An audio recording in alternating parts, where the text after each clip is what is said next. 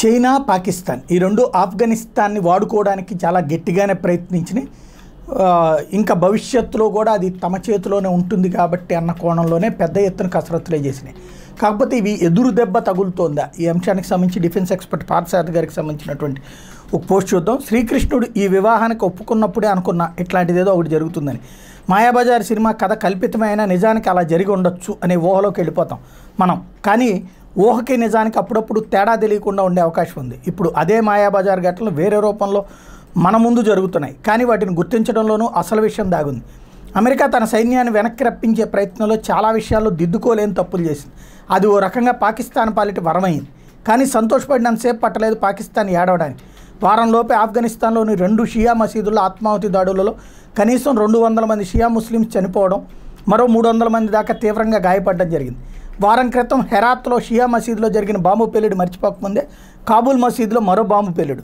నిన్న కాందహార్లో మరో ఆత్మాహుతి దాడి జరిగింది.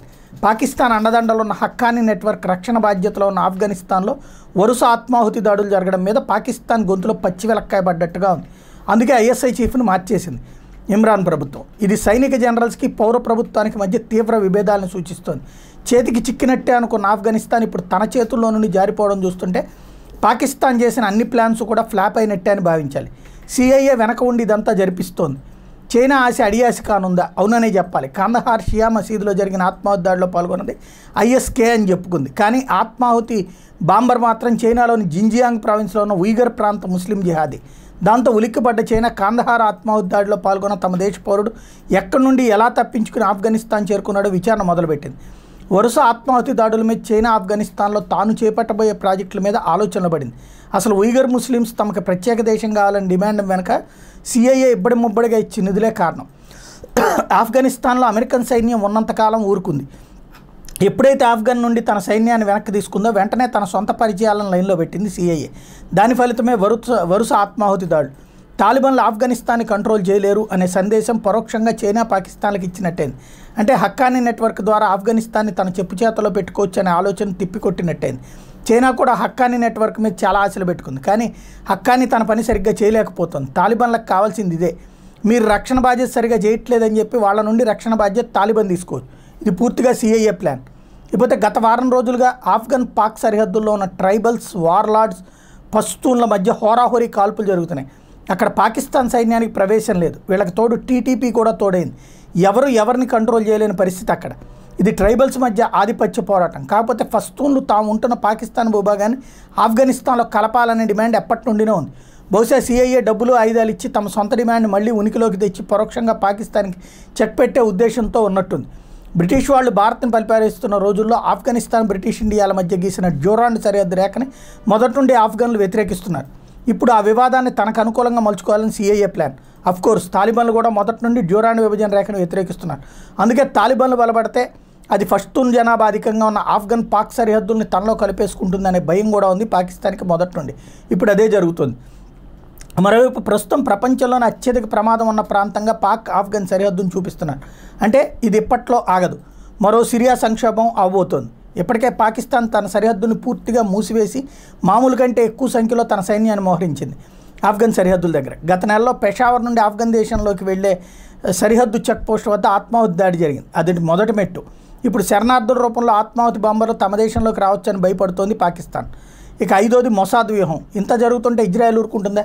గతంలో పాక్ అణు కార్యక్రమం విషయంలో పొరపాటు చేసిన మొసాద్ ఇప్పుడు వచ్చిన అవకాశాన్ని బాగానే అందిపుచ్చుకుంది. నెల రోజుల క్రితం ఒక ఇజ్రాయెల్ హిస్టోరియన్ ఒక సంచలన ప్రకటన చేశాడు.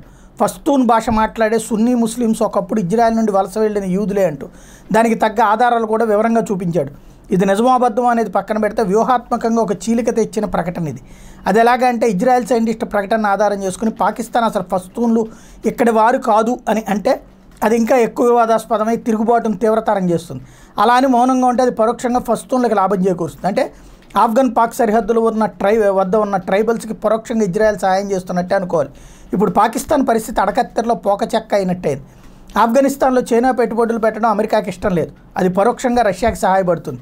మరి కొద్ది రోజుల్లో తాలిబాన్ బృందం మాస్కో వెళ్ళబోతుంది చర్చల కోసం అంటూ. కోర్స్ భారత విదేశాంగ శాఖ అధికారులు కూడా వెళ్తున్నారు మాస్కో. అక్కడ ఎలాంటి ఒప్పందాలు జరుగుతాయో తెలియదు కానీ అమెరికా మాత్రం చూస్తూ ఊరుకోదు. ఇప్పటికే ఆఫ్ఘనిస్తాన్లో తన ప్రత్యర్థులు కాలు పెట్టకుండా ఉండటానికి ఐఎస్ఐఎస్ ఆల్ ఖైదాలతో పాటు టీటీపీలకు సహాయం చేస్తోంది సిఐఏ ఎప్పుడో పదేళ్ళ నాటి పుతిన్ ఒక వ్యాఖ్య చేశాడు.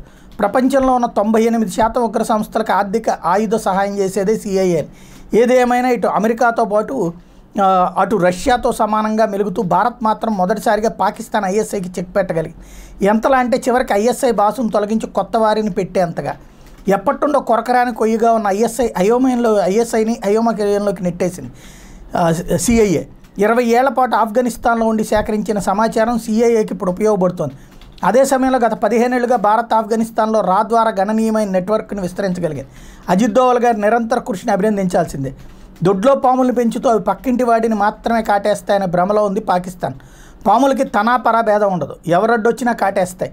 చదరంగం అనేది ఇద్దరు ఆడితేనే చూసేవాళ్ళతో పాటు ఆడేవాళ్ళకి వినోదంతో విజ్ఞానం వస్తుంది.